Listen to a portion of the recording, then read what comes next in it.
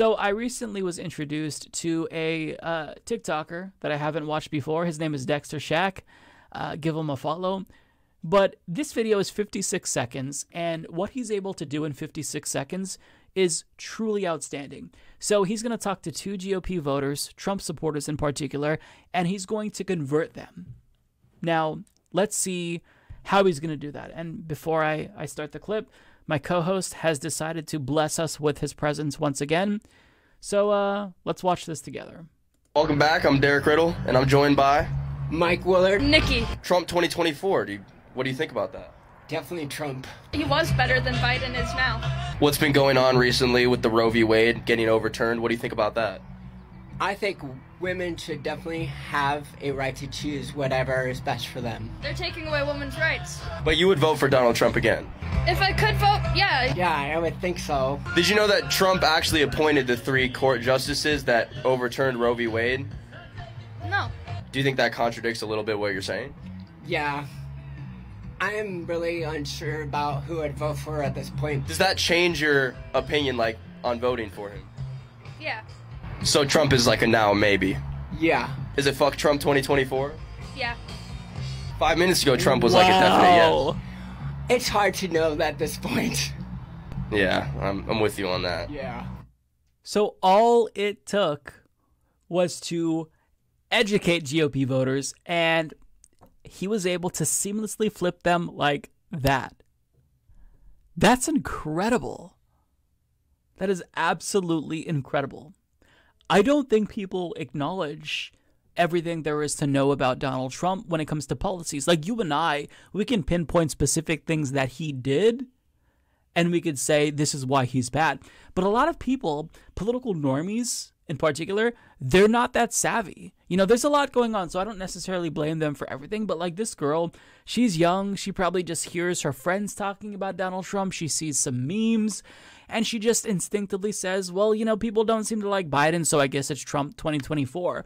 But then when you educate her about what Trump did and who he appointed to the Supreme Court, she flips.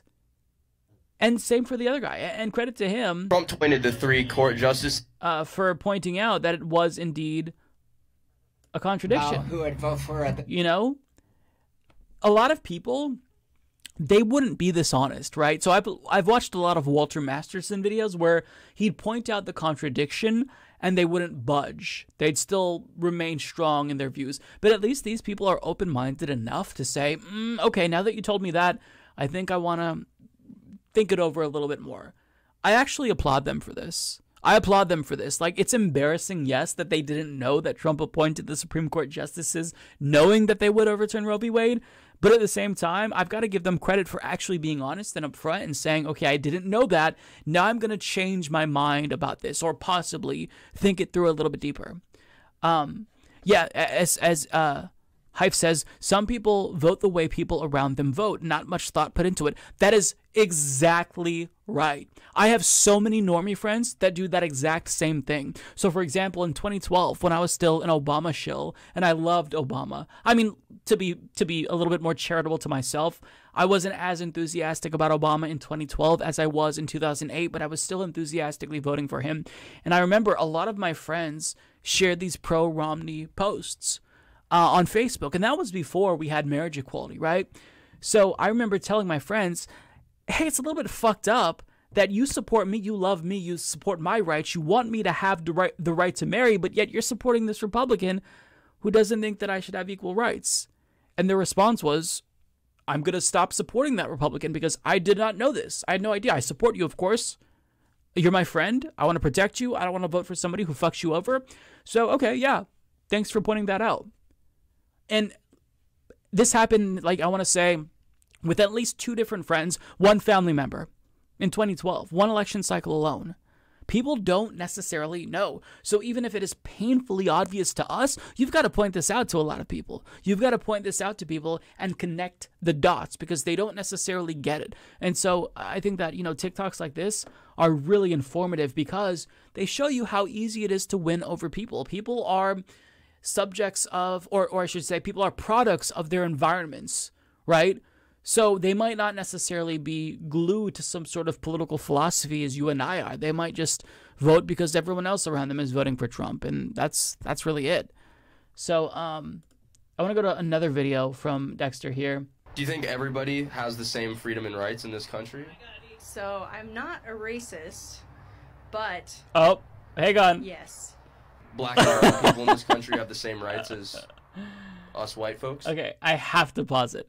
Whenever somebody says, I'm not a racist, but 99 times out of 100, they're going to say some racist ass shit. And that pause there, whew, felt like an eternity. Do you think everybody has the same freedom and rights in this country? Oh so I'm not a racist, but yes. Black and brown people in this country have the same rights as us white folks? Like I'm Irish and stuff, and obviously Irish people were not treated that fairly either. But what about all of the police shootings? That's gonna happen with the the violent neighborhoods. You can't just like get out of Chicago or whatnot, if that makes any sense. Why Chicago? Chicago is kind of nor- notorious for like gang shootings and like just being kind of an unsafe area. Did you learn that from listening to too much Chief Keef? You guys are Chief Teeth? Or what is that? Chief Keef. Chief Keith. It's Keith! Okay, we've got to watch a couple other videos from him. He's good. Is there any um July stuff? The only thing I found in there that's left is the, um, it's an American flag, but it's the um, blue line. Oh, the Blue Lives Matter one? It's, uh, no, yeah, Blue Lives Matter one. Hi, I'm Cindy. Hi Cindy. Dexter. Dexter, nice to meet you. Nice you. to meet you. Howard, nice, Nice to to meet, meet you you. guys. I forgot my American flag jumpsuit at home, so yeah. Oh, You can take it out and look at it if you want. all right. All red is, is firemen, and all the blue and those types of things are police. Oh, that's what's And up. green for military, and there's a fourth one. I don't know what the fourth one was. Is there a Black Lives Matter one? No, I don't do that. I just keep myself out of that that loop. You just kept yourself out of like the whole Black Yeah. Lives Matter loop. yeah, because I don't want a retail store that causes anybody stress. What if like you know like a black person comes to the store and they're like, Oh, I have no problem with color. Anybody. The more political things, it's just best to stay out of it. yeah, BLM's a little too political. Well, I think so. I can tell what side, what you- what you do. What what what, do you- what, what do you think I do? Well, because you do you keep I- pushing the BLM, and I'm thinking, so you must be in very much in support of it. Very much in support of it. Yeah. Yeah. Like it's it's the best. Yeah, it is the best. Yeah, yeah. Not. I don't do it. I don't have um, items in here that can cause any problems. And if Okay. somebody finds uh, something with something, then I'll take it out while they're there or whatever. what exactly is uh this? That is my mama's um, Mambo doll. Sambos. No BLM stuff, but we got Sambos in here. Or BLM. Something that says BLM. This does not indicate BLM. It's not a BLM. I've lived all over the world. I love the nationalities. Oh, fly, you know, clothes. very convincing. I've lived all over the world. I love the nationalities. We totally believe you. Okay, I'm gonna pull up Dexter's YouTube channel. Everyone, go uh, subscribe to uh, Dexter Shack. Tell him the Humanist Report sent you. Send him lots of love because that content is gold. Love it.